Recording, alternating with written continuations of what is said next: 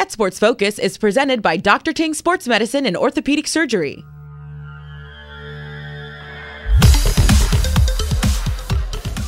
Ally Williams here for Get Sports Focus, and we have the undefeated Valley Christian Warriors taking on Serra to open up league play. VC with a fast start. They have a really good one two punch in the backfield. Javon Sturns and Isaiah Rodriguez. Rodriguez with the first touchdown of his senior season, 7 0 Warriors. Serra, they have some talent as well. Senior Lecky Nunn with the quarterback keeper picks up some real estate to wrap up the opening quarter. Same drive, second quarter, Nunn will sneak it in to tie it up at 7.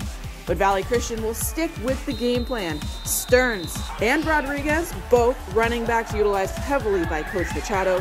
Again, Rodriguez will get the call at the end of the drive for the touchdown, extending the lead 14 to 7. Still in the second, Miles Kendrick shows off his wheels, a 28 yard sprint up the middle to make it 21 7 Warriors. Third quarter, the Padres will answer with back to back touchdown connections from Nunn to Shane Villaroman, tying up the score at 21 apiece. But will march down the field early in the fourth to take back the lead. Rodriguez with his third TD of the game, 28 21 VC.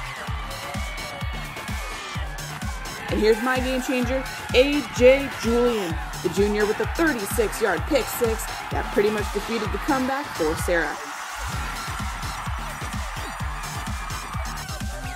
But the Padres will not go down easy. Sophomore quarterback Luke Batari hits Nunn for the quick TD to close in at 35 28. But the Warriors will run out the clock in their final possession. Sturns with the first down. 35 28, Warriors remain unbeaten.